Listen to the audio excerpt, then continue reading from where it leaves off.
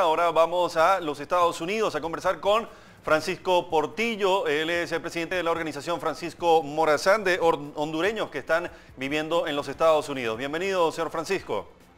Sí, muy buenas tardes a toda la teleaudiencia de tan importante programa de CB24 Noticias.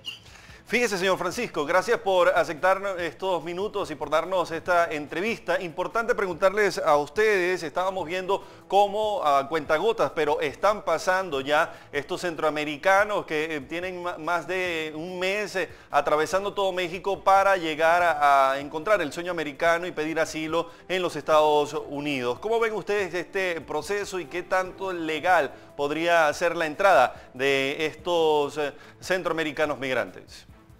Bueno, eh, yo pienso que siempre ha existido, siempre, ahora es que le han llamado caravana, ¿no? pero siempre ha existido el éxodo de, nuestros eh, hermanos centroamericanos, ¿no? Tenemos el caso del 2014, cuando llegaron aquí a Mares con hijos también. O sea que esto siempre ha existido, ¿no? Sabemos que todas estas personas abandonan nuestros países ah, por problemas eh, de, de amenazas de las pandillas, de la violencia el escaso de, empleo también, que es bien importante, pero hay que darnos cuenta que el presidente Donald Trump ha endurecido lo que es el tema de, migración. Aquí la situación está sumamente difícil, ¿no? Para conseguir su empleo porque ah, están pidiendo sus permisos de trabajo, su residencia permanente, ¿no? Y aparte de eso, pues sabemos que estas personas que ya han pasado, pues nos alegramos mucho, le damos gracias a Dios que está en el suelo americano, donde realmente pues se le sigue un proceso de asilo político, a ver si es creíble, ¿no? Eh, sabemos que son cantidades de personas que están llegando, ahí nosotros pues estamos aquí siempre monitoreando todo, ah, ¿verdad? Pero también hacemos una campaña bien fuerte, ¿no? En nuestros países de Centroamérica y especialmente de Honduras, concientizando lo que lo piensen dos veces, ¿no? Para venir a este país Recuerde que las leyes de migración están fuertemente eh, eh, duras, duras y aparte de eso están arriesgando sus vidas con esa travesía que, corren de, nuestro país a llegar a la frontera de México. Así que eh, nosotros pues vamos a continuar también apoyando a nuestra gente, ¿no? que, que tanto los necesita. Señor Francisco, fíjese que la mayoría, el reporte de, eh, las personas que están en el interior de esta caravana de migrantes, la mayoría son ciudadanos hondureños que han decidido salir de Honduras eh, también para atravesar hasta los Estados Unidos. Eh, ¿Cuáles serían las razones de este éxodo masivo de hondureños?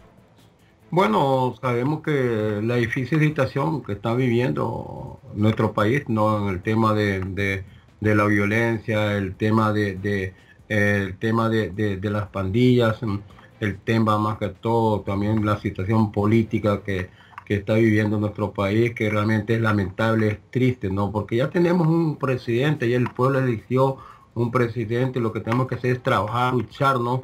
Y vemos que estos grupos que lo que están haciendo es causando problemas a nuestro, a nuestro pueblo hondureño.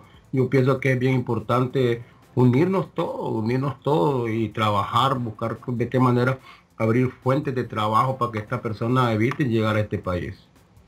Fíjese, ¿cuál es la recomendación que también le dan a muchos de estos centroamericanos que definitivamente no van a encontrar asilo, que le van a negar el asilo y no van a poder entrar a los Estados Unidos luego de pasar toda esta travesía como hemos venido viendo? El consejo es que lo piensen dos veces para tomar esa decisión, ¿no? Porque recuerden, hacemos ver nuevamente. Pero es que ya la tomaron, ya salieron, ya, ya, fíjense, señor Francisco, ya ellos tomaron esa decisión de salir, de abandonar sus países y están en la frontera. ¿Qué va a pasar con ellos? ¿A dónde van? Bueno, yo pienso que si ellos pues, sabemos que en la frontera pues eh, hay jueces que están pues revisando los casos, ¿no? Sabemos que por ahora se ha detenido bastante porque también los centros de, detención están sumamente llenos, no llenos, y no pueden estar entrando personas y todo. Ah, yo pienso que aquella persona que realmente demuestre, no demuestre a sus, evidencias, sus pruebas, que corre peligro ah, la vida de ellos en, los países y todo eso, ah, y este pues eh, sea un asilo creíble, le dan la oportunidad de que entre el país y prosiga ¿no? su, su vida, claro, lógico siempre estarse ah, presentando ah, dentro de las cortes, no para ver qué decisión toman a última hora los jueces. Y lo importante realmente que demuestren con evidencia, todo aquel que no tenga evidencia clara y que sean creíbles, va a ser bien difícil que los dejen entrar, los vamos a nuevamente retornarlos a los países de origen. Fíjese, otra cosa que quería preguntarle también pertinente porque usted, miembro de esta organización, Francisco Morazán, eh, defensora de los derechos de los migrantes, sobre todo de los hondureños en los Estados Unidos, ¿cómo está la situación con el TPS y, bueno, la última orden judicial eh, que em, está obligando prácticamente al presidente Donald Trump a justificar por qué quiere eliminar este permiso de protección temporal? Bueno, esta semana es crucial ¿no? para nuestra comunidad hondureña. Ah, sabemos que el presidente Donald Trump dio una reinscripción por seis meses, el cual comenzó el 5 de enero y termina el 5 de julio. ¿no?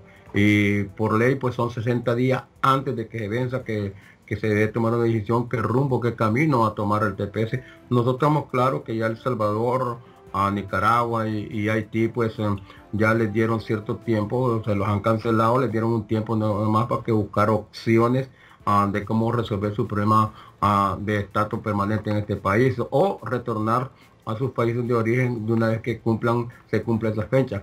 Pero nosotros estamos optimistas, el día 16 de, abril eh, estuvimos um, frente a la Casa Blanca en una vigilia pacífica pidiéndole al presidente Donald Trump que se dio una extensión de 18 meses para nuestra comunidad hondureña porque sabemos la difícil situación que se está viviendo en nuestro país en estos momentos y aparte de eso pues aprovechamos y formamos grupos de trabajo visitamos las oficinas de los congresistas y senadores a quienes les dejamos una carta pidiéndoles que se busque una avenida, que se busque un proyecto de ley para ver de qué manera se legalizan a estas personas del TPS como de Honduras, Nicaragua, El Salvador y Haití. O sea que estamos trabajando fuerte, estamos optimistas, esperamos que, el presidente Donald Trump tome conciencia ¿no? de, aprobar una prórroga para el TPS para hondureños y, continuar trabajando. Recordemos que esta gente aquí pagan sus taxes, ah, tienen décadas de estar en este país, tiene sus hijos nacidos aquí en este país,